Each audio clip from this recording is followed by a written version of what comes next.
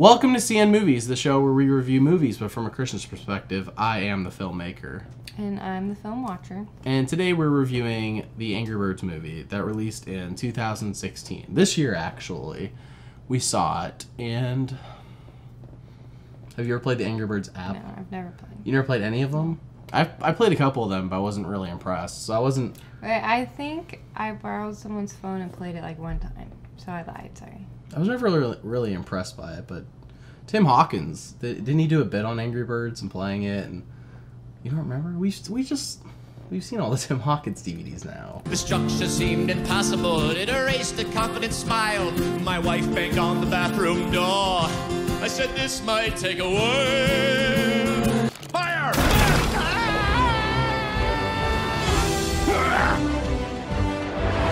First category is story. So basically, if you've ever played the game, you know it's about birds and they're trying to get their eggs back from the evil pigs. And that's pretty much the premise of the game, as far as I know, since I've only played it once. Um, That's about right, yeah. So the premise of the movie is these birds are all calm, they're very peaceful society, and there are a few, specifically this one, Red, who's an angry bird, and anytime he gets angry, he just kind of goes crazy. So the, But he's the oddball in the right, group. he's yeah. he's odd. No, nobody else is really like him. So he has to go to ther- anger therapy, and uh, because he's gotten in so much trouble. So the point of the movie is he's odd. His anger isn't good. Yada yada. The pigs come, trick everyone, steal the eggs, and it's their mission to get them back. And Red kind of leads the mission to get by getting all the birds angry. yes, by making everyone angry. And if you saw the trailer, it pretty much explains the story.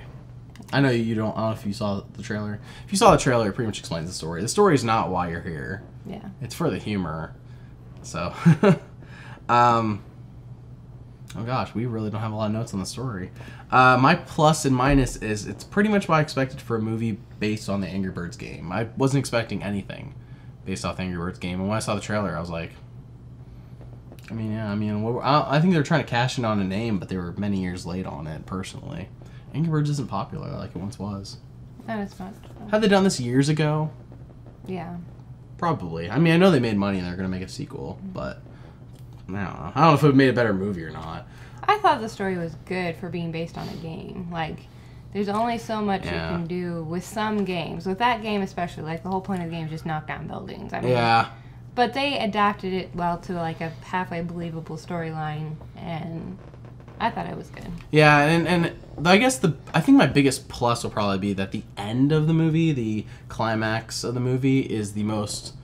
It's the most game. I mean, it's it represents the game Yeah. to the best. Where, spoiler alert, uh, during the near the end of the movie, they Angry Birds actually launch themselves and knock over a bunch of pigs' buildings. I mean, that's what happens in the game. So if you're expecting that, it does happen in the movie. So it's Yeah. it's probably the best part of the movie, but. And I like Oh. the fact that it did start out that you know this was a peaceful society. Like the birds aren't angry until Yeah. the pigs come. Because they're already angry, there'd have been no, Yeah. no I character know. development. I, really. th- I thought it was good. It was a little predictable. and it was forgettable. I've mostly forgotten about it since we've watched it. I remember, but but it was it was I thought it was decent. I gave it a six out of ten. And I gave it a 3 out of 10. Look look how short. Usually our story section's longer. That was pretty short. I should tell you, there's not much here. Fire!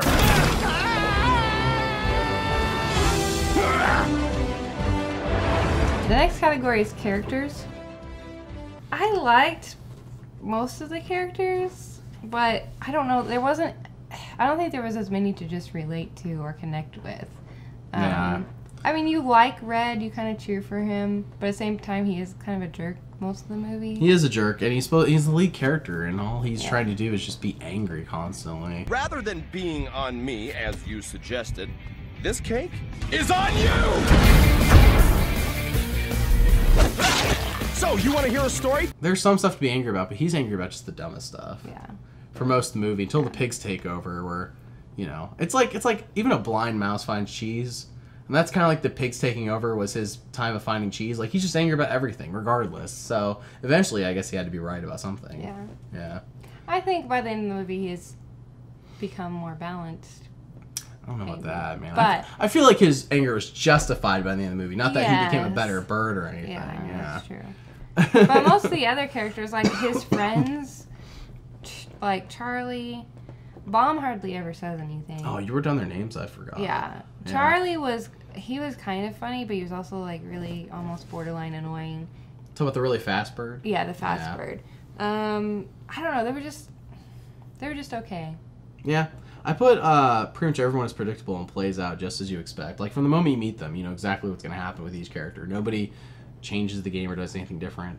Um, I really don't like the voice choice for Red, which is Jason Sudeikis. And if you've ever seen Jason Sudeikis in, in any movie or any show, like Son of Zorn, I think it's called, is the new one, or if you've seen him like on Saturday Night Live, he's just it's not the fact that his voice doesn't change as much as his personality that he plays on TV or in a movie is always the same in every character.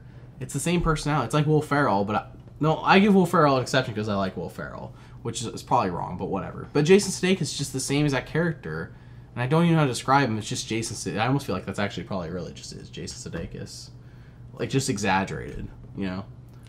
Like me and Christian Nutrition is an exaggerated version of me. Jason Sudeikis in everything he plays is probably an exaggerated version of him. That's what it feels like. Like he can't do anything else. But I never. But he never really strikes me as like truly angry. Like he's supposed to be the ang- the angry bird, and he's not really that. He doesn't really seem like he's that angry. He's just like annoyed Yeah. most of the time. Constantly annoyed. Um, it's just like in the show Son of Zorn, which I only watched the premiere episode of, but it's like I don't really take him as this big strong man. He's not. He's just like a white guy uh, who's kind of smart and knows his, knows how to talk his way out of things sometimes. I don't know. Anyways, I thought Terry Crews would have been a perfect choice for this role. Terry Crews is the he's he he's played in a bunch of movies and shows. Uh, he's in Brooklyn Nine Nine, and he's like the Oh, the big buff black guy. yeah, man. You see him in like a lot of stuff, and he always he can play. He can play. He can do humor. funny. He yes, he can do humor, and he actually like sounds angry when he wants to, Mm-hmm. but he can also be like he's so awesome. Where am I? Ah! Say goodbye to this nasty beard. What happened to me? I don't know. I'm not a doctor. Old Spice Shaving Gel. Terry Crews would have been the best choice for this role for Red. Like, could you even imagine? That'd have been hilarious. Anyways, My only other thing on characters was that I really was not at all. And I know you're not supposed to be impressed by the pigs, but they were supposed to be like the smart society that figured out like they built a ship and yada yada. But they're just so dumb. they just I think it's because they played them, and everyone everyone does. They're like they can't be but taking us over. They played. They're dumb. when they're back in their city of Pigville or whatever it's called, They're still they're dumb. still just dumb. Well, I think that's their whole thing is that they just pull, is that they are dumb, and so everyone assumes that they're dumb, and they're not going to do anything to them, and then they do do something, and they get away with it. Like they probably have one plan. It's the plan you see in the movie, and they use it on everybody. but you know, you only got to do it once. Like fool me once, shame on. Was it shame on me? On yeah, you. that's what they do every time. It's once, always shame on you, fool me twice, shame on me. oh my bad. So it's always shame on them. It's never shame on me because Yeah. they only probably do it once to everybody. I don't know. I will say that it felt a little bit weird that their island was so close to Angry Birds Island and that they had never attacked them before. So, uh, but for characters, I gave them a four out of ten. I gave it a six. Yeah, sounds about right. Fire!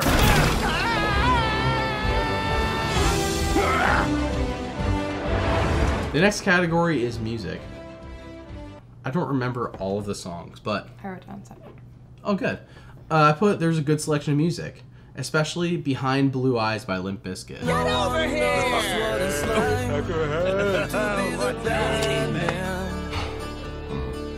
To be the sad man. It's a good song. Uh, there was a generic pop song that plays when the pigs have their party, and it was, was- just like the weakest song in the group, Well, it was the only one that was probably written for the movie, I think. which is lame. Yeah. Yeah. well, all the rest of the music was excellent. All of the licensed music, they made good Yeah. choices. It wasn't generic. Aside from that one song, it wasn't generic pop music by Shakira like in Zootopia. It wasn't, you know, it wasn't the typical generic music that you get in a bunch of kids films. It was a lot of good. Music. Yeah, yeah, they actually A picked good music, and it was variety. Yes, the Behind Blue Eyes was my favorite part, though. Um, yeah, I mean, do you have anything else to add on that? No, I love the music. I I, love great. yeah, music I gave an eight out of ten. I gave it an eight as well. Good choice. Fire!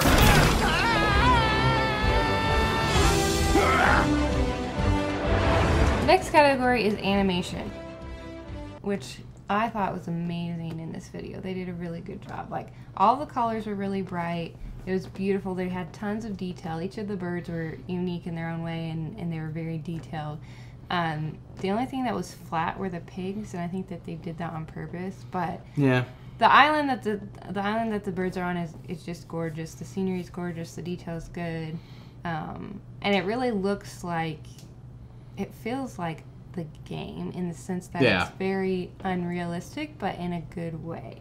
I will say on the area on the on the pigs island when you're on the island with the pigs it looks great when you're on the island with the birds looks great both the on the islands like when looking at them close up they look great but when it's like I put whenever they zoom out on the islands it's like everything's really generic it's like there's an island like a circle island and then water and then another circle island over here and like that was the entire setup of the world and Yeah. but I'm um talking every time they did an establishing shot it was just like But that's the point because this There's is nothing a, special This is a about this. world in the game. There's nothing else in the game besides these two worlds. But they're making a movie. They're not making a game, and so we're Oh, back. Yes, okay. we're judging a movie. We're not judging a game.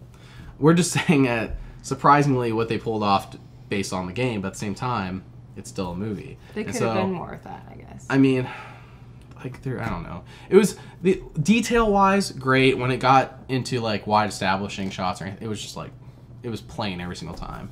Uh, I will say the unique designs for the bird that is inspired. It, the birds look exactly like the birds from the game, which I don't know why they would change, and they didn't, which was smart. Because had they changed it, I would have been like, this this makes no sense, but Yeah. it made sense. And yeah, beautiful color wise, Yeah. color colors, very bright colors, which I guess is good for kids. yeah. But yeah, do you have anything else to add on animation? No, I gave it a 10 out of 10 I gave it a eight out of ten. because of the generic stuff. Yeah, the generic stuff threw me off. Fire!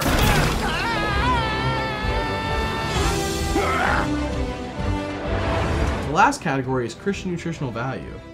I thought there were a few things about this I thought were good. Um, mainly the community, which has to come together and kind of get their their eggs back. I did like the fact that it brought up how righteous anger is a good thing. You know how there are things to be angry about, and in the community, you know, you're not angry all the time. You're not supposed to be an angry bird. You're supposed to love each other and have peace or whatever. But there are times where it's okay to be angry and and to act on that anger and to go and get the eggs back. And I don't know. I like that aspect of it. Um, and friendship was a key element, but honestly, that probably shouldn't. I had it as a plus, but That was my plus minus. Maybe Yeah. maybe friendship is important. but the thing is, in his circle of friends, which by the end of it they are a lot closer, but especially at the beginning, like they lie to each other and they like trick each other. even yeah, it's completely friends. okay. and Yeah. Never. It's it's just kind of weird. Like Yeah. I didn't really like that part of it. No. Um. I said yeah. I said lying happens a lot, and it's never it's never condemned though. Like usually when bad stuff happens in the beginning, by the end of the film, you've learned that's not okay. You shouldn't do that to your friends. You shouldn't lie to them. But no, never it's never said. Yeah. Uh, there's and God's name is used in vain multiple times by the mime bird. Good, good job on my part by saying who who it was this time instead of just, yeah. And there's replacement for cuss words are used, which you know depends on your view could be bad, such as cluck instead of. Yeah, Bad yeah, the bad word. I mean, you can if you guess what replacing that is for. So stuff like that's throughout the film. Uh, and I, I personally said there's no moral lesson at all throughout the entire film. There's just no moral lesson. There really isn't. Ain't, Jason Sudeikis is the same character at the end of the film he was at the beginning of the Well, film. that that is characters. That's Yes, but I'm- but my the moral point- lesson of the film. moral lesson usually ties in with the main character. Good times to be angry. That's a terrible moral I'm Just lesson. saying. Oh my gosh, this is movies for meant for kids. Yeah, that's true. Yeah, this isn't meant for adults. Kids, But kids need to learn how to deal with their anger too. I mean, that's kind of the point. Is by kicking pigs or and launching themselves into houses. My point is that there's no real moral lesson in the film. It doesn't really tell. It doesn't like it's if it's meant for kids, it needs to be a little bit more blatant than trying. If you're catching something and I'm not, because I'm I'm viewing this as as how would a kid watch this, not Right. as how would I watch this. yeah. I just view it as a I- kids I can movie. This isn't like Pixar where there's like, I don't know. There's really wasn't that much of this film. You did you you said okay, so I said that God's name is used in vain multiple times. You actually put specifically three times. You're good at counting this stuff. I Mm-hmm. I'm pretty count. sure it was three times. Oh, I'll, I won't doubt you on that one.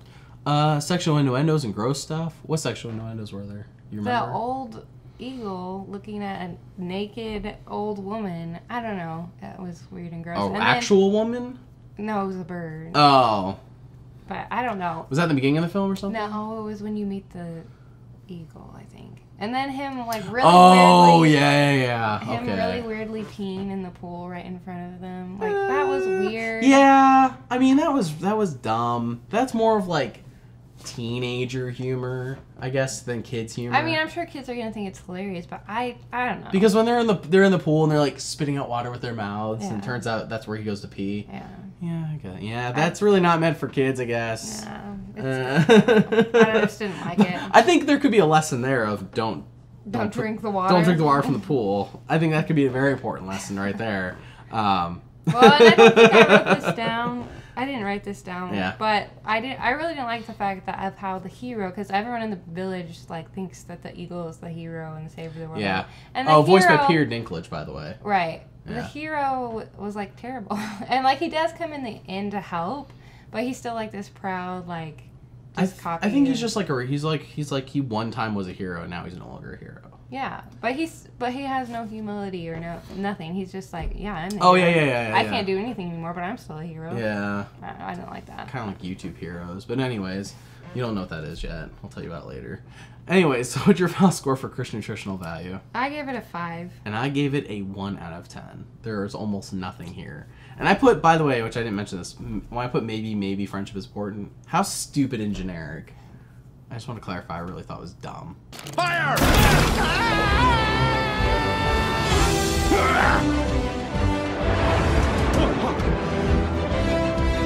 Our final score for the Angry Birds movie is a 59 out of 100. I, even though we somehow got over a 50 because he because of your score. I was a little generous. yeah, you were a little generous, but I that's the difference in perspective here. Wouldn't probably wouldn't recommend it. I would not recommend it for your kids, honestly. I would recommend it for probably the group that's not going to watch it, which is teenagers. Like that's probably where I would start this film at because there is no, almost no value, and there's a bunch of stuff. But it's like it's like teenage. Middle school. Uh, I'm thinking more like high school, but like that's not really the group that's going to want to see this movie. yeah. So I'm not sure who went and saw the movie. I think it probably was parents with kids. There's kids. Yeah. Probably. I don't. I, I don't know. I didn't really pay attention when it came out. But yeah, that's it. I mean, The best thing it had going for it was the was the artistic part of it. That's pretty much the it. animation. Yeah, the animation. Stay tuned as next time we review Scooby Doo, released in 2002. Oh, it rhymed. I'm looking forward to this review. You are We'll not. see. You are not looking forward to this movie. What do we usually say at the end of these? Thanks for watching. Subscribe and bye. Oh, we should probably say that, huh? Thanks for watching. Subscribe and bye.